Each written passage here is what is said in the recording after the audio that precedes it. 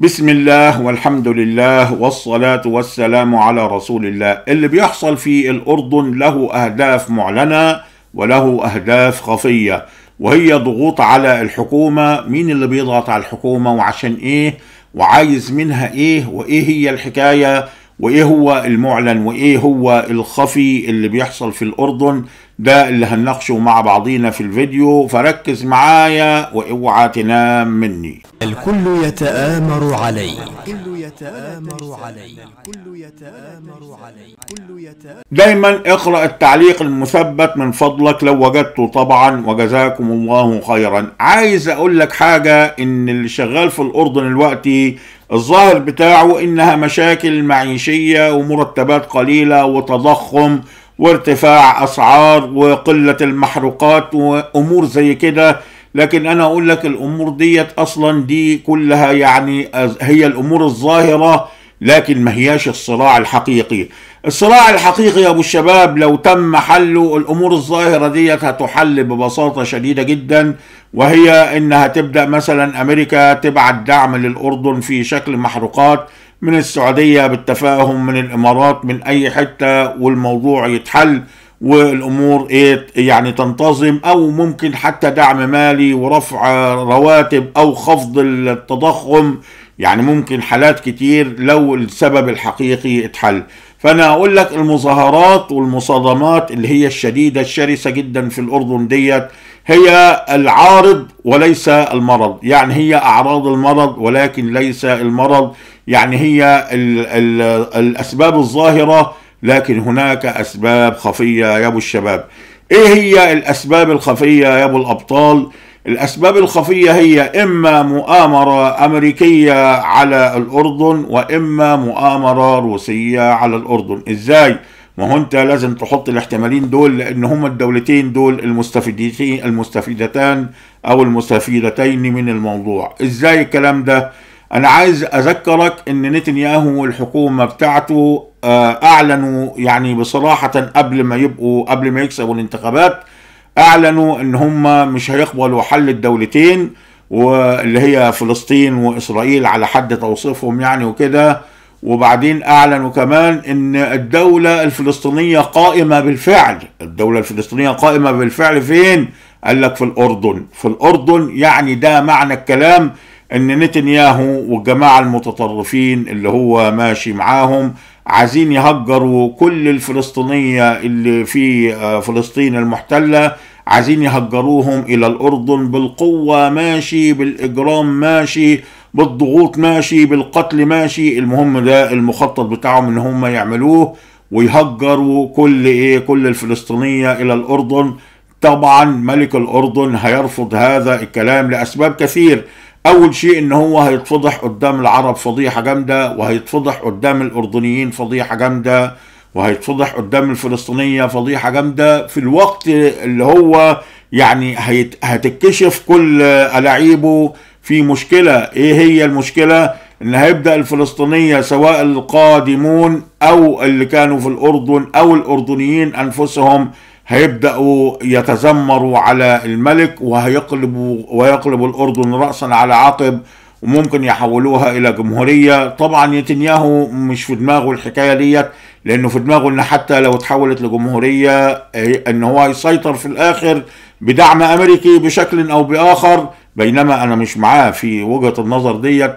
هو لو لو عمل قلاقل في الأردن هيؤدي لانهيار إسرائيل وهكلمك على انهيار إسرائيل بعد كده في فيديو تاني. فخلاصة الأمر ممكن الضغوط الأمريكية بطلب إسرائيلي يهودي صهيوني على ملك الأردن وهو طبعا رافض لأنه مش عايز يغير الديموغرافية في الأردن كمان أكتر من كده ومش عايز يكون بينه وبين الشعب عداء أكتر من كده وخايف أصلا من قوات الأمن والدنيا هناك قبائل زي ما أنتم عارفين وخايف من أمور كتير وعنده حسابات جامدة فبالتالي ما يرضاش وده يدفع أمريكا إن هي تعمل عليه مؤامرة. لكن مش هي دي مش هو ده الفرض الوحيد. في فرض تاني يا أبو الشباب ربما هو يعني لا يقل أهمية عن هذا الفرض. إيه هو؟ هو أن المؤامرة في الحقيقة هي روسية بشكل أو بآخر. ما هو اللي بيحصل في الداخل في الأردن مستحيل إنك أنت يعني تعتبره إن هو بشكل عفوي. في ضغ... في ضغوط وفي تضخم وفي آه ارتفاع أسعار وكل ده بسبب إيه؟ كل ده بسبب اللعب على الأردن لأن الأردن بيعتمد على الخليج في التمويل بنسبة لا تقل عن 70% وبالتالي الخليج لما يقفل الحنفية بتاعته شوية التضخم يحصل في الأردن وتحصل الانقلابات أو يحصل التمرد اللي ممكن يؤدي إلى انقلابات. طيب إيه هو اللي حاصل دلوقتي؟ خليني أحكي لك قصة الثورة اللي كانت على الملك قبل كده اللي هي بقى قبل حتى كلام ابن أخوه حمزة وقبل الأمور دي كلها. خليني أفكرك بشيء مهم جدا. إيه هو إن هو حصلت ضغوط على الملك بهذا الشكل كان شكل مماثل تقريبا لكن تدخلت قطر مباشرة ودعمت الملك وادت له فلوس والمشكلة انتهت والأسعار هبطت والمكر راح. ليه بقى؟ إيه اللي حصل؟ اللي حصل لما قطر لما قطر تدخلت راحت السعودية بسرعة اتدخلت هي كمان عشان ما تكشفش. وراحت مدخلة الكويت معاها لأن السياسة الكويتية تتبع السعودية زي ما أنتم عارفين. والإمارات كمان تدخلت معاها وبقى دعم خليجي. المهم عدت الأزمة اللي فاتت اللي أمريكا كانت عاملاها عشان تهدد الملك كانت عايزة منه يسمح باستخدام الأراضي الأردنية في غزو سوريا بحجة الإطاحة ببشار الأسد. وهي في الحقيقة ما كانتش المسألة الإطاحة ببشار بس ده كانوا هيطيحوا ببشار وعايزين يوصلوا كمان لتركيا ويكملوا اللي هم فكرة الناتو العربي القديمة حكيتها لكم في أكثر من فيديو. فخلاصة المسألة الأزمة اللي فاتت ديت أفشلتها قطر وبعد كده السعودية والخليج اتكسفوا على دمهم كانوا تحت الضغوط الصهيونية في هذا الوقت لكن اضطروا إن هم يرجعوا بسرعة يدعموا الأردن لأن الأردن كانت هتنفلت وهتدور بقى في الفلك التركي القطري الروسي. ودي كارثة بالنسبة للأمريكان. عشان كده السعودية والخليج سارعوا بسرعة لدعم إيه؟ الملك اللي هو عبد الله مرة تانية. وخد بالك إن في الفترة اللي فاتت في المظاهرات اللي فاتت مش دي كانت السعودية والإمارات ولائهم للأمريكان وتحت الابتزاز الأمريكي بشكل كامل. يعني ما كانوش يقدروا يعملوا أي حاجة. غير النهاردة غير ست شهور مثلا فاتوا أو كام شهر كده فاتوا اللي حصل إنه السعودية والإمارات تمردوا على الأمريكان في موضوع أوبك ومرضوش يزودوا إنتاج النفط خوفا من الروس والإيرانيين وبدأوا إن هم يقولوا للأمريكان لأ لأول مرة من زمان لأن إيه اللي حصل؟ اللي حصل إنه في قانون العصابة لما تيجي دولة أو فرد يكون زعيم عصابة ويجي يدي أوامر لعضو العصابة لازم يوفر للعصابة ديت إيه؟ ثلاثية الأبعاد يعني حماية. يعني يحمي العضو ده يعني يقول له اعمل اللي تعمله ما تخافش. محدش هيقدر يجي جنبيك لا بشكل عسكري ولا بشكل قانوني ولا عليك أي مسؤولية. أنا هحميك في كل حاجة. فيوفر له الحماية. وبعدين يوفر له الدعم يعني يقول له ما تخافش محدش هيقدر يعمل عليك حصار ولا كده أنا هديلك فلوس. وبعدين يعمل إزاي؟ يخوفه بقى كمان يعني يوفر الردع يعني يقول له أنا حميتك ودعمتك لكن لو غدرت بيا هعمل فيك وأسوي وتكون بقى إيه؟ يكون تخويف حقيقي والطرف اللي هو عضو العصابة سواء كان دولة أو فرد يكون عنده قناعة إن زعيم العصابة فعلا ممكن يعمل الحكاية دي. القانون ده كان شغال لحد يعني فترة قريبة وبعد كده اللي حصل إيه؟ اللي حصل إنه ثبت بشكل عملي إن أمريكا مش قادرة تحمي الخليج ودي محدش يشك فيها. وبالتالي السعودية والإمارات بقى قدامهم حاجة من اتنين. يا إما يوالوا أمريكا اللي هي مش قادرة تحميهم وبالتالي ممكن إيران تعمل عليهم غزو وممكن تسلط عليهم الحوثيين يطلقوا عليهم مئات الصواريخ بدل ما هم يعني مرات يعملوا وقف هدنه ومرات يطلقوا صواريخ قليلة ممكن يخربوا الدنيا بالشكل ده لأن إيران مدعومة إيه روسيا في هذا المنطلق. فطبعا الوقت أمريكا ما بقتش قادرة تحمي دول الخليج. عشان كده دول الخليج دول الخليج اتمردت عليها. يعني يقولوا الأمريكان إحنا الوقت ننزل لكم أسعار البترول وتيجي روسيا تدعم إيران يحتلونا.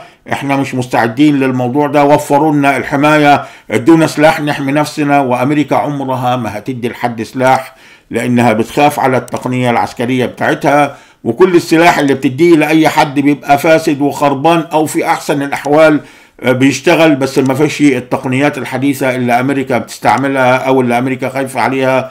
يعني قصة حزينة. أنا خرجت لك من الموضوع ده عشان أبين لك قانون العصابة بيشتغل إزاي وعايز الوقت بقى أرجع أطبقه لك على ملك الأردن. ملك الأردن يا سيدي في المظاهرات اللي هي قبل دي اللي هي قبل سنتين أعتقد أو ممكن آه في الحدود دي سنتين سنتين وشوية تزيد أو تقل.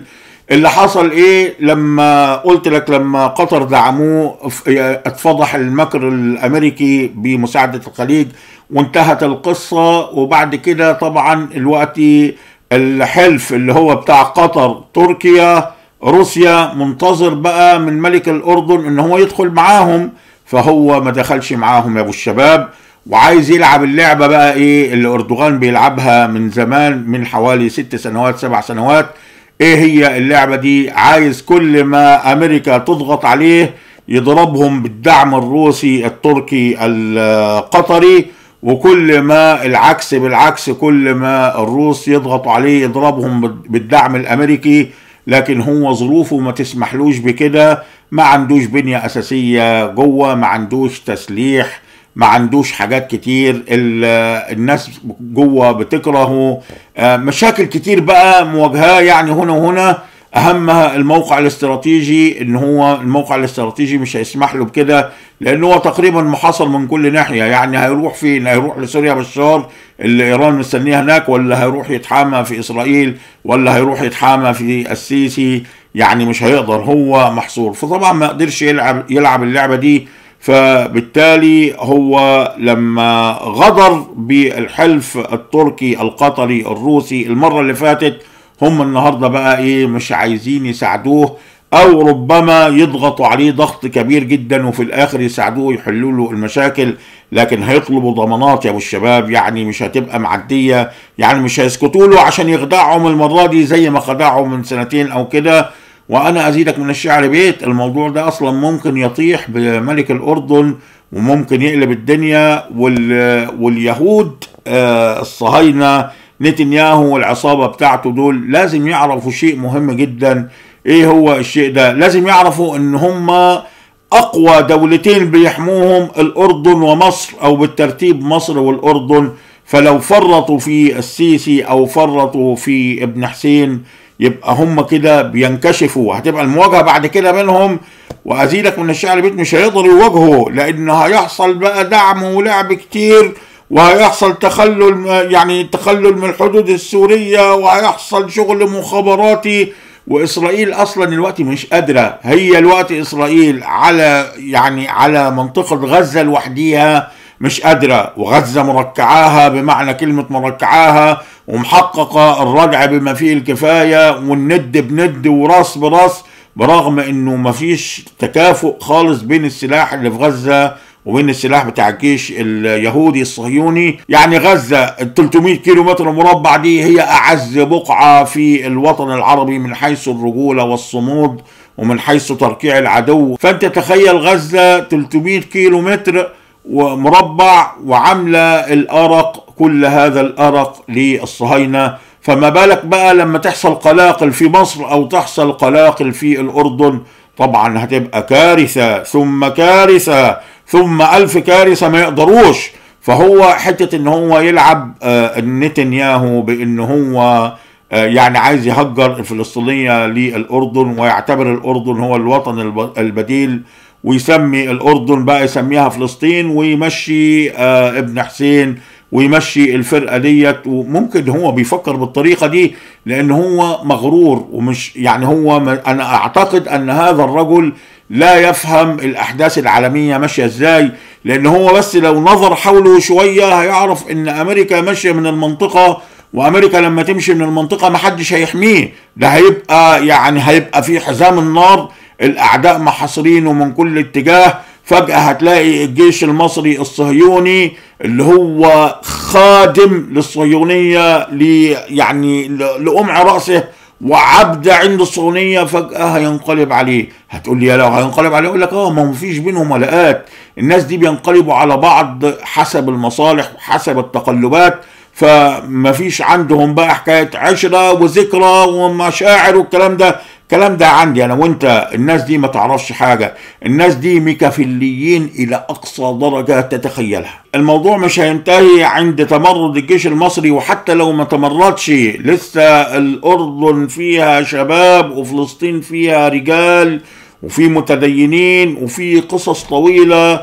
وفي بس عايزين الدعم المخابراتي المعلوماتي وعايزين التدريب وعايزين اللي يضع خطة وعايزين اللي يمشي الأمور بهذا الشكل وهم كافلين بأن هم يجيبوا نتنياهو بالملابس الداخلية بتاعته ويحاكموه محاكمة مجرم حرب. لكن هو قوة الدولة الصهيونية علينا فين؟ في خيانة البغاء الحكام العرب في المركز الأول. وفي المركز الثاني بقى إيه انه إن دول مش خانوا والموضوع انتهى. لا هم شغالين كلاب حراسة للأمريكان وللصهاينة وبالتالي المخلصون من العرب مش بيقتلوا الصهاينة ده بيقتلوا أكبر قوة في العالم أمريكا ويقتلوا الأولياء بتوعها في المنطقة اللي هم بيتظاهروا ان هم مع فلسطين ومع العروبة ويضربوا فلسطين والعروبة في ظهرهم. على فكرة أنا لا أؤمن بالعروبة أنا اؤمن بدين الله سبحانه وتعالى وكل مسلم أخي حتى لو ما كانش عربي.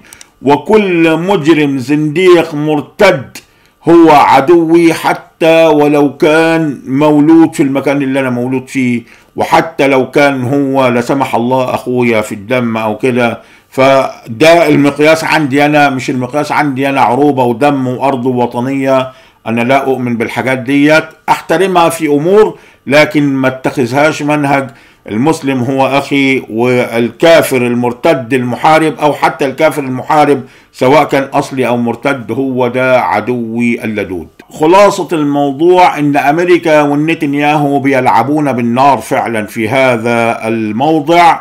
وده معناها إن ممكن إسرائيل تنهار في اي في أي وقت مش بالضرورة يكون أسبوع أو كده. لكن أنا أعتقد إنه قدامها بضع سنين قليلة والله أعلم. الأمور بقى اللي أنا عايز ألفتها لك يا أبو الشباب في المظاهرات الأردنية هي إن الناس بتهتف ضد الملك ودي ظاهرة نادرة يعني قليلا ما تحدث. الأول كانت الظاهرة إيه اللي بيحصل؟ الناس بتطلع تهتف ضد الحكومة وليس ضد الملك. وبعد كده ألفت نظرك كمان إن في اشتباكات مع قوات الأمن ودي برضو ظاهرة نادرة وقليلة الحدوث. يعني الموضوع المرة دي واخد شكل جدي وواخد شكل فيه إيه؟ في ان أنا هطلع وهقفل الطرق وهعمل كذا وهشل حركة البلد. يا إما إنك أنت لازم تكون يعني موزون في التصرفات معايا ما تجيش تقعد تنهبني وتسرقني وتغلي عليا الأسعار وتبيع لي بالسعر العالمي قده عشر مرات وكده ومستنيني إن أنا أسكت. طب إيه هو اللي خلى الشعب سخن المرة دي؟ اللي خلى الشعب سخن المرة دي على الأرجح هو العمل المخابراتي اللي قدم له النصائح والعمل المخابراتي اللي هو كمان قدم له الدعم.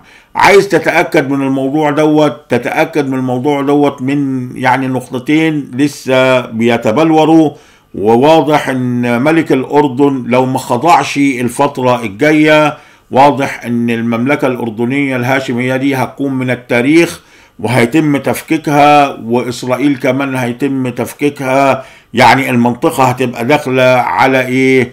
هتبقى داخلة على تغيير شامل من الأمور كمان اللي بتبين لك إن في عمل مخابراتي مرتب هو إن الدلابيح اللي هو قتل القبيلة بتاعته رفضت أي عزاء من الحكومة وقالت مش عايزين أي حد من الحكومة يجي العزاء غير أن ابن المحافظة هو منهم ده يعني سمحوا له بناء على ولاء عرقي وليس على ولاء حكومي يعني عندهم عداء شديد للحكومة.